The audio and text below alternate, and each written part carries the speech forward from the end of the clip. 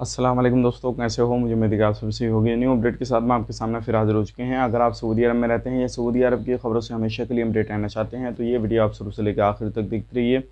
इस वीडियो के अंदर मैं आपको काफ़ी ज़्यादा इंपॉर्टेंट जो है इन्फॉर्मेशन देने वाला हूँ और आप लोगों को बताने वाला हूँ। क्योंकि आप लोगों को अगर ये वीडियो नहीं देखेंगे, सऊदी अरब में रहते हैं या जाना चाहते हैं तो आप पे काफ़ी बड़ा जुर्माना पड़ सकता है। और काफ़ी सारे लोग जो सऊदी अरब से बाहर हैं छुट्टी आए हुए हैं, उन लोगों के काफ़ी ज़्यादा क्वेश्चन आ रहे थे कि हमें पाँच महीने, दस महीने छः महीने जितना भी टाइम हो गया है, वो हो गया है, लेकिन उसके बाद में हमें क्या करना चाहिए? हमारा वीज़ा जो है, यानी कि एकमा रिन्यू नहीं किया जा रहा है तो हमें क्या करना चाहिए? हो सकता है या नहीं हो सकता? तो उसके बारे में हम बात करेंगे और भी कोविड नाइन्टीन के हवाले से रिपोर्ट आ रही है, उसके बारे में बात करेंगे। और अभी जो है, अगर आप शॉपिंग मॉल बकाला किसी भी जगह पे जाते हैं तो नए रूल रेगुलेशन जो है वो लगा दिए गए हैं। तो उसके बारे में बात करेंगे जो कि 10 तारीख से 10 फरवरी से वो शुरू हो चुके हैं। तो चलिए फिर बिना देरी के वीडियो शुरू करते हैं, लेकिन उससे पहले मैं आपको बता देता हूँ, अगर आप हमारे चैनल पर पहली बार आएँ तो चैनल को सब्सक्राइब करें और साथ ही साथ बेल आइकन ज़रूर प्रेस कर दें ताकि हमेशा आपको इसी तरीके से अपडेट मिलती रहे और आप हमेशा हमारे साथ में जुड़े रहें।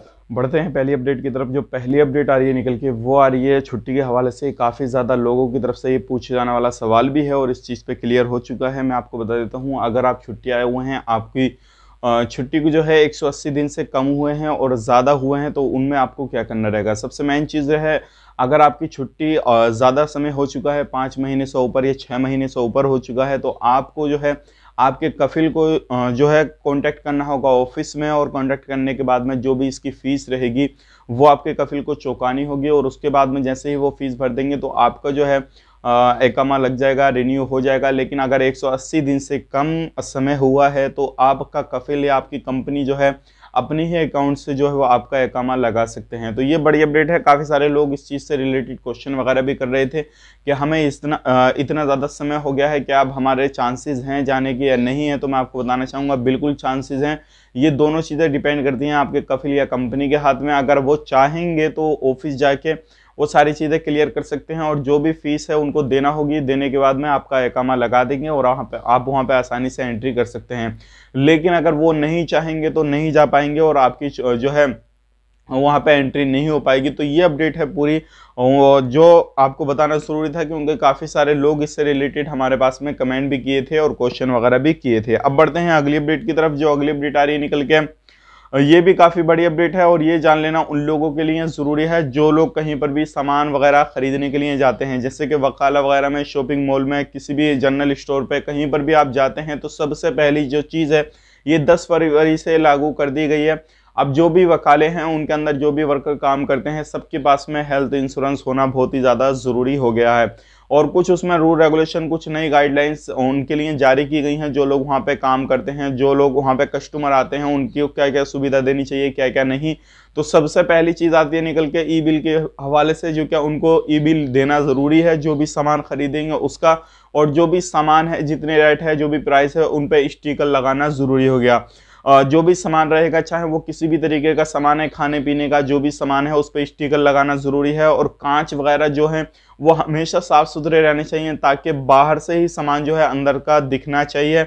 और जो भी वर्कर वहाँ पे काम करते हैं, जो फ्रिज वगैरह हैं, जो भी जगह हैं वहाँ पे मेन मेन तो जो भी कहीं पर भी किसी भी तरीके की कचरा वगैरह नहीं होना चाहिए। अगर ये सारी चीज़ें होंगी और वहाँ पे चेकिंग वाले आ गए और चेक इन करने लगे तो इन, इस दौरान जो है उन पर काफ़ी ज़्यादा फाइन वगैरह लगाया जा सकता है और हो सकता है उनके वकाले वगैरह को भी बंद किया जा सके। तो ये जो है न्यू रूल रेगुलेशन 2021 से 10 फरवरी से लागू कर दिया गया है। तो आप अगर कहीं पर भी जाते हैं तो आपको अपना बिल भी लेके आना है और अपने वहाँ पे देख लेना है किसी तरीके से कोई भी लापरवाही तो नहीं बता हो रही है। अगर हो रही है तो ज़रूर आप आगे इन्फॉर्मेशन दे सकते हैं, उनके खिलाफ कार्रवाई वगैरह भी करवा सकते हैं। तो ये बड़ी अपडेट थी और इसलिए आपको बताना, काफ़ी सारे लोग जो थे वो हमारे यूट्यूब फैमिली मेंबर ऐसे भी हैं जो कि वकालों में काम करते हैं शॉपिंग मॉल में काम करते हैं जनरल स्टोर वगैरह में काम करते हैं तो इन सारी जगहों पे काम करते हैं। तो ये सारी चीज़ें आपको अभी ध्यान में रखनी है, किसी भी तरीके से लापरवाही नहीं बरतनी है। अब बढ़ते हैं अगले अपडेट की तरफ़, जो अगली अपडेट आ रही है,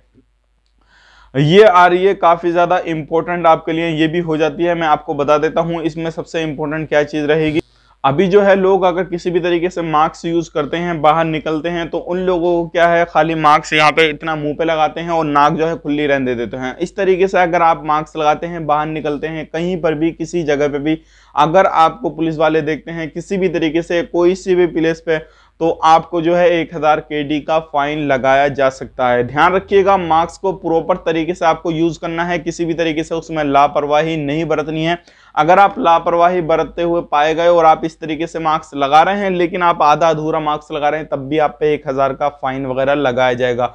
सबसे सबसे ज़्यादा इंपॉर्टेंट चीज़ इसमें यह हो जाती है क्योंकि काफ़ी सारे लोगों को मास्क लगाना नहीं आता और काफ़ी सारे लोग जानबूझ के लगाना नहीं चाहते तो आपको मार्क्स पूरे तरीके से लगाना है ताकि आपको किसी भी तरीके से फाइन से गुजरना नहीं पड़े। एक हज़ार रियाल जो है काफ़ी ज़्यादा होते हैं तो वो सारी चीज़ें आपको ध्यान रख लेनी है। एक हज़ार रियाल इतने ज़्यादा होते हैं कि आपकी एक महीने की तनख्वाह जा सकती है। तो ये सारी चीज़ें थी। उम्मीद करता हूँ जो भी इन्फॉर्मेशन मैंने आपको दी है, वो आपको पसंद आई होगी। अब बढ़ते हैं अगली अपडेट की तरफ़। जो अगली अपडेट आ रही है निकल के, वो आ रही है इलीगल लोगों के हवाले से। हाँ जी, अगर आप एक इलीगल हैं, आपके पास में व्हाइट पासपोर्ट है तो अभी सऊदी सरकार की तरफ़ से किसी भी तरीके का कोई भी अपडेट नहीं आया है, जो क्या इलीगल लोगों के लिए किसी भी तरीके से कि उनको छूट दी जाएगी या नहीं दी जाएगी। लेकिन अगर आप इलीगल हैं व्हाइट पासपोर्ट आपके पास में है तो आप थोड़ा इंतज़ार कीजिए, हो सकता है आने वाले वक्त में जल्दी ही आप लोगों को छूट मिल जाए और उसके बाद में जो है आप सऊदी को छोड़ सकें। जैसे ही अपडेट आएगा, हम आप तक ज़रूर पहुँचा देंगे, लेकिन अभी फ़िलहाल में कोई भी अपडेट नहीं है। बात करते हैं फ़्लाइट के हवाले से तो इंटरनेशनल फ़्लाइट के हवाले से भी कोई अपडेट नहीं है। जैसे ही इंटरनेशनल फ़्लाइट के हवाले से कोई अपडेट आएगा, इसकी डेट डेट वगैरह अलाउन की जाएगी कि भाई इस डेट से फ़्लाइट को ओपन किया जाएगा। अभी जैसे कि आपको मालूम है, बीस कंट्रियों को बैन किया हुआ है, फ़्लाइट वहाँ पर नहीं आ सकती, नहीं जा सकती। यानी क्या उधर से आ सकती है, इधर से जा नहीं सकती, नए बंदों को लेकर तो अभी इसके हवाले से भी कोई अपडेट नहीं है। बात कर लेते हैं कोविड नाइन्टीन के हवाले से पिछले चौबीस घंटे की कोरोना वायरस रिपोर्ट पाँच बंदों की मौत हुई है, जिसमें कि टोटल मौत हो चुकी है। 6415 की बात करते हैं रिकवरी की 306 रिकवरी हुई है टोटल रिकवरी तीन लाख बासठ हो चुकी हैं। बात करते हैं नए केसेस की। तो सबसे मेन चीज़ जो है ये ही है कि नए केसेस अभी भी सऊदी अरब के अंदर काफ़ी ज़्यादा बढ़ रहे हैं। तीन सौ उनहत्तर नए केसेस हो चुके हैं, जिसमें कि जैसे कि आपको मालूम है, तीन सौ से प्लस जैसे ही केस हुए तो उन्होंने फ़्लाइट को बंद कर दिया। अभी जो है इनकी संख्या बढ़ रही है। अभी कुछ पता नहीं कम कब तलक होगी, कब तलक नहीं, लेकिन आप जो है उम्मीद कीजिए और कोशिश कीजिए और दुआएँ कीजिएगा, ये केसेस जो है, इनकी संख्या जो है वो कम आ जाए, सौ, सवा सौ आ जाए। और जैसे ही इतनी आ जाएगी तो फ़्लाइट जो है इनशाला जल्दी ही ओपन की जाएँगे और जो वीज़ा का प्रोसेस है वो भी जल्दी किया जाएगा। तो टोटल केसेस हो चुके हैं तीन लाख इकहत्तर हज़ार तीन सौ छप्पन। बात करते हैं एक्टिव केस की तो एक्टिव केस हैं दो हज़ार पाँच सौ तिहत्तर और सीरियस जो केस हैं वो हैं चार सौ सत्रह। तो ये है पिछले चौबीस घंटे कोविड नाइन्टीन की अपडेट। अगर किसी भी तरीके से आप सऊदी अरब के अंदर रहते हैं तो ध्यान रखिएगा, जो भी रूल रेगुलेशन मैंने आपको बताएँ, चाहे वकाला में काम कर दे, शॉपिंग मॉल में काम कर दे, किसी भी जगह पे आप काम करते हैं तो इन चीज़ों को ध्यान में रखना है और बाहर निकलते हैं, मास्क का ज़रूर ध्यान रखना है, नहीं तो आप पर जो है एक हज़ार रियाल का जो है वो फाइन पड़ सकता है। अब काफ़ी सारे लोग पूछ रहे थे कि आप ये बताइएगा, जो एक हज़ार रियाल का फाइन डालेंगे, वो हाथों हाथ डाल देंगे या कैसे डालेंगे? तो मैं आपको बता दूँगा, भाई हाथों हाथ सारी चीज़ हो जाती है, आपको रसीद काट के दे दी जाएगी अब उसको भरते रहो, कैसे भरना आपको? तो ये सारी चीज़ अभी चल रही हैं तो आपको इन चीज़ों पर गौर देना है और ध्यान रखना है। तो उम्मीद करता हूँ जो भी इन्फॉर्मेशन मैंने आपको दिया वो पसंद आई होगी। फिर मिलेंगे इस नेक्स्ट वीडियो में। तब तक के लिए आप अपना ख्याल रखें, अपनी फैमिली वालों का ख्याल रखें। Take care bye bye